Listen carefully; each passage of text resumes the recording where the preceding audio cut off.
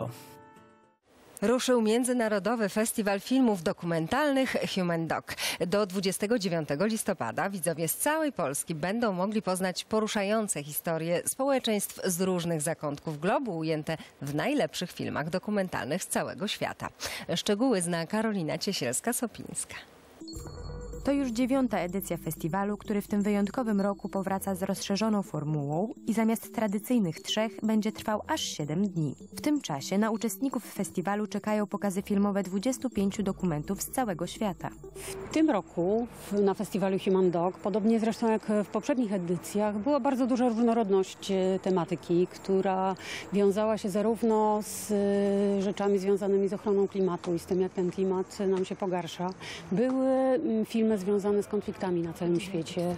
E, Konflikty w Aleppo, w Mosulu, e, na Ukrainie. Świetne jest to, że filmowcy pokazują, w jaki sposób te globalne konflikty przekładają się na tragedie mm, pojedynczych osób, rodzin, w jaki sposób te rodziny sobie z tym radzą. Festiwal Human Doc to także spotkania z twórcami, panele dyskusyjne czy warsztaty reżyserii, które wzbogacą program tego wyjątkowego wydarzenia. Festiwal współfinansowany jest przez Polską Pomoc Ministerstwa Spraw Zagranicznych RP. Naszym zdaniem jest on znakomitą formą e, zapoznawania naszych rodaków z problemami i wyzwaniami, e, z którymi mierzy się dzisiejszy świat. Tym działaniem chcemy po prostu e, prowadzić do uwrażliwiania naszych rodaków na problemy i potrzeby zgodnie z duchem solidarności i współodpowiedzialności za losy, kształt świata. Pokazy filmów oraz inne wydarzenia festiwalowe są bezpłatne i będą systematycznie udostępniane na platformie vod.humandoc.pl. Czym wyróżnia się tegoroczna odsłona festiwalu Human Doc? Którego filmu nie można przegapić? Odpowiedzi na te pytania poszukała Dominika Matuszak.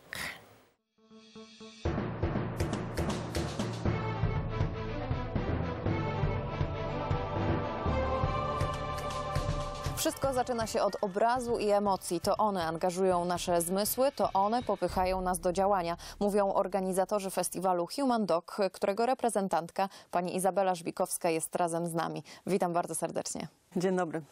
Pani Izabelo, wy od lat przekonujecie za sprawą filmu, że świat jest globalną wioską i paradoksalnie ten trudny 2020 rok e, właśnie to udowodnił.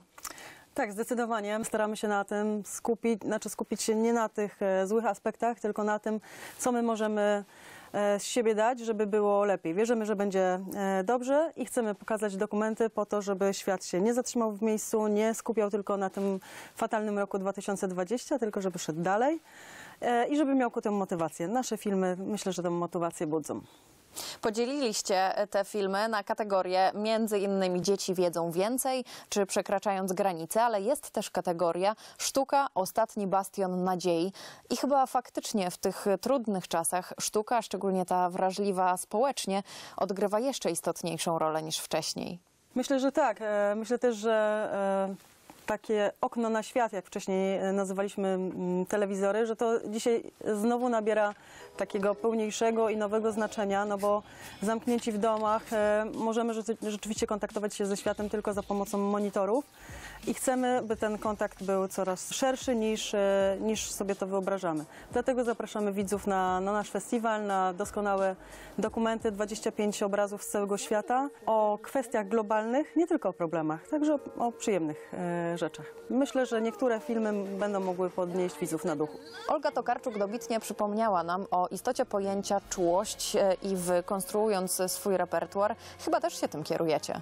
Tak, e, czułość, ale też takie wszystkie inne dobre emocje, czy emocje takich, znaczy nie wiem, czy to jest emocja, ale też odpowiedzialność za, e, za nas wszystkich, za losy świata. Wiem, że to brzmi dosyć e, tak pompatycznie, ale jednak e, robimy festiwal filmowy po to, żeby po pierwsze cieszyć się dobrą sztuką, a po drugie, żeby na bazie tego, co zobaczymy, e, żeby budować refleksje i potem e, te refleksje, żeby skłaniały nas do działania. To jest istotą naszego festiwalu. Te filmy są po coś. To mamy przeżywać emocje, przeżywać obrazy, dowiadywać się czegoś o świecie po to, żeby wiedzieć więcej i móc działać lepiej, sensownie, tak? A co będzie dominantą repertuarową tegorocznej odsłony festiwalu? Myślę, że tak jak e, co roku. Dominantą są po prostu dobre filmy. Dobre filmy dokumentalne to subiektywne opowieści filmowców z, ze wszystkich krańców świata, które mm, pokazują nam najbardziej aktualne kwestie globalne. Bo proszę pamiętać, że filmowcy zwykle pochylają się nad, tym, e, nad tematami, które są e, palące dla świata. Wiadomo, że film dokumentalny nie powstaje w e, kilka dni, to są raczej lata, ale te kwestie globalne też one się nie wypalają w ciągu krótkich momentów, tylko trwają latami. Dlatego na przykład w tym roku na, e, na festiwalu możemy e, dostrzec kilka obrazów, które poruszają kwestie klimatyczne.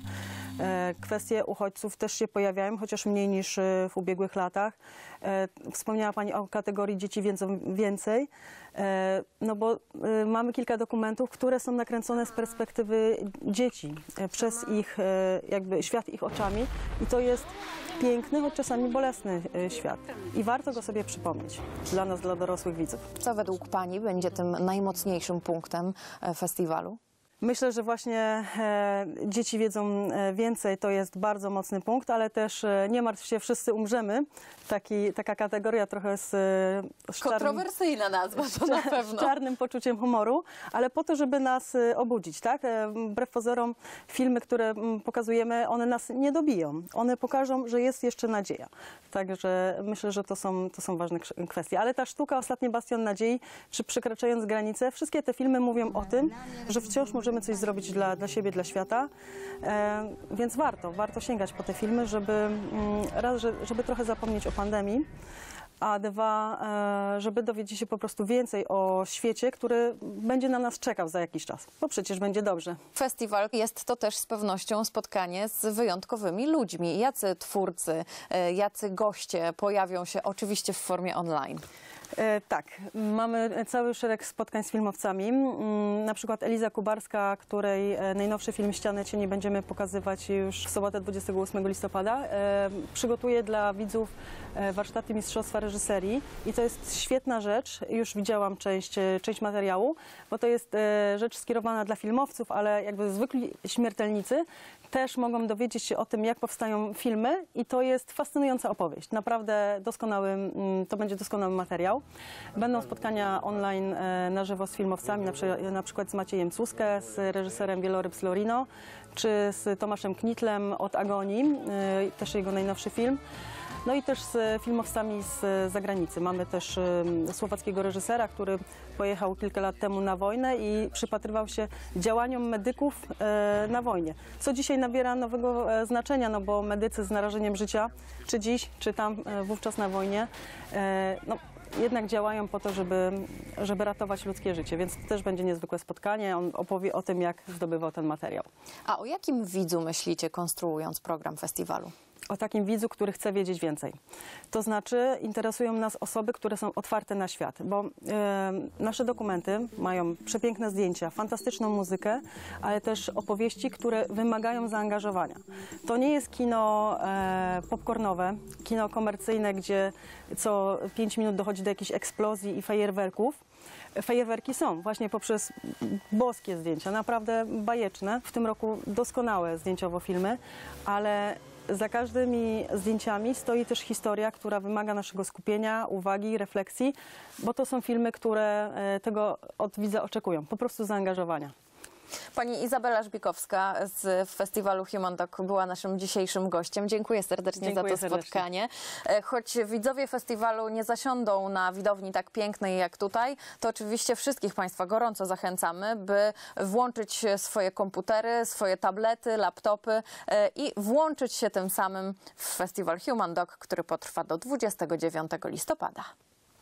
I to wszystko, co przygotowaliśmy dzisiaj dla Państwa. Kolejne informacje kulturalne już jutro o 18.30. Serdecznie Państwa zapraszam i do zobaczenia.